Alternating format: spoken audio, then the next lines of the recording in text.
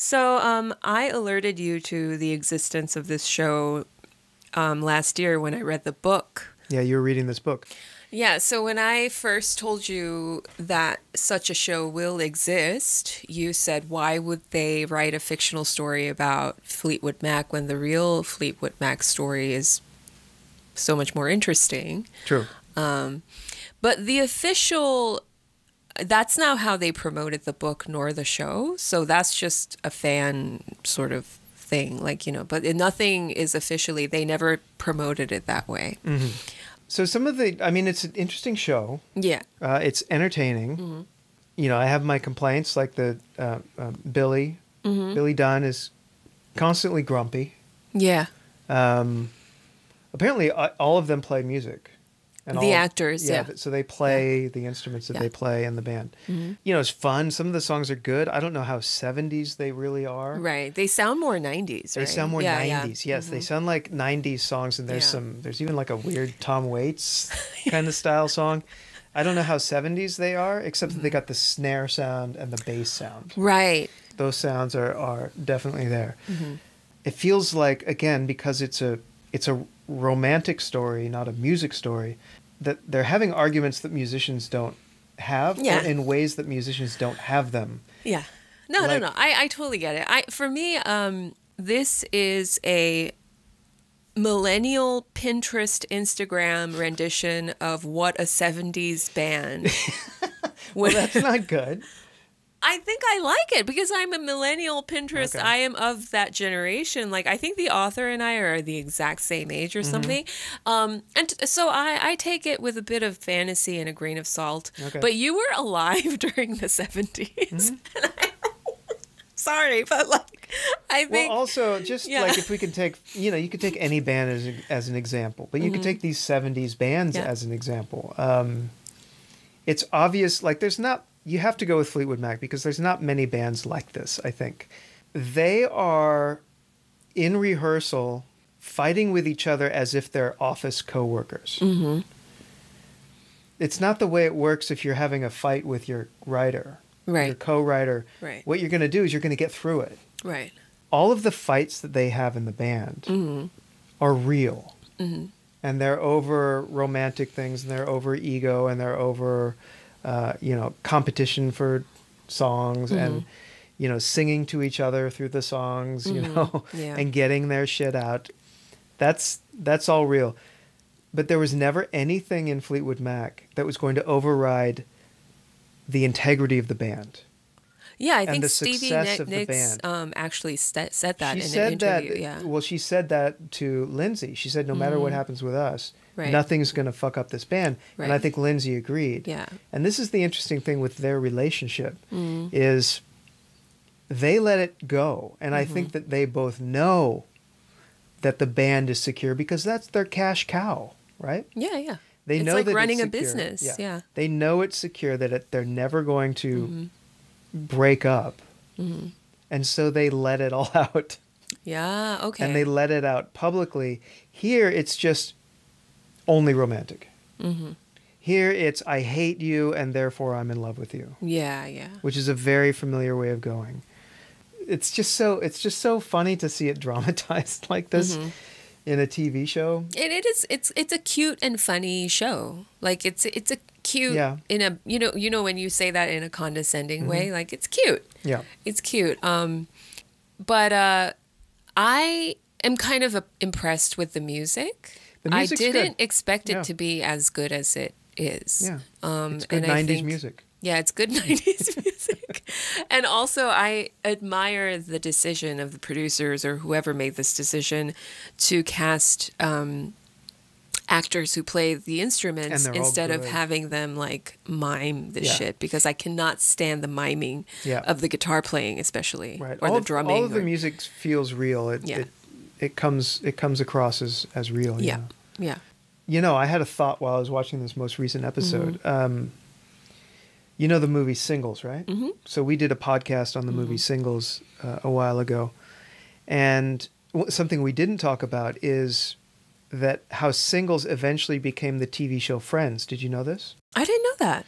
So they came to Cameron Crowe, who wrote and directed Singles, Mm-hmm. and said, can we make a TV show out of this? Interesting. And he said no.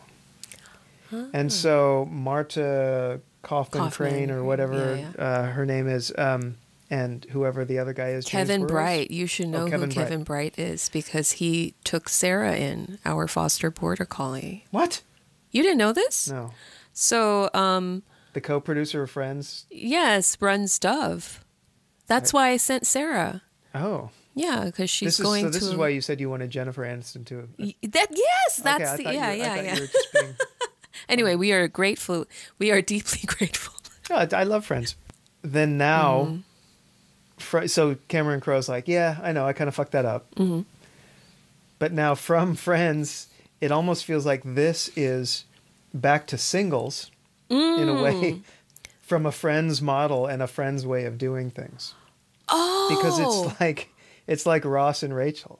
oh, okay. I see what you're saying. I mean, I, you know, I'm sure it's vi- no. I, I'm sure it's all related, considering Maybe that so. like all of the like the author and the producers are all millennials. Mm-hmm. Yeah, you know, like we, we all feels like grew up on show. this, you know, this shit. Yeah, so I think it's a cute show. Um, it's not a masterpiece. No, it's fun. I'm enjoying it. I think Riley Keough is a masterpiece. She's great. I'm, I'm like Yeah, really in love with her. Yeah, I, I think she's fantastic in so many ways. I didn't even know she could sing before this, and she was still, you know, fantastic. But I think her singing just like really blew me away. She's got a look about her too. She's absolutely magnetic, and she's not traditionally beautiful. Um, She kind of looks like Elvis. That's kind of crazy if A you little- think. a little- Yeah, yeah. She looks a lot like her mother. I think. yes, Yeah.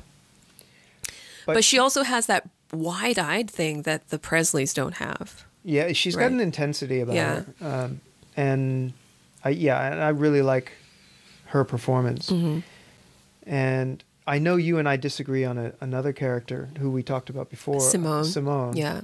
So in episode five, if you're not caught up, Mm-hmm. um, there's this great section in, in Greece Mm-hmm. where uh, Daisy gets married to this Irish guy, Yeah. and her friend Simone comes for the wedding, and then Simone tries to tell her that she's living a lie. Mm-hmm. I was like, and then she starts telling her things to her Mm-hmm. that are total projections of her own interests.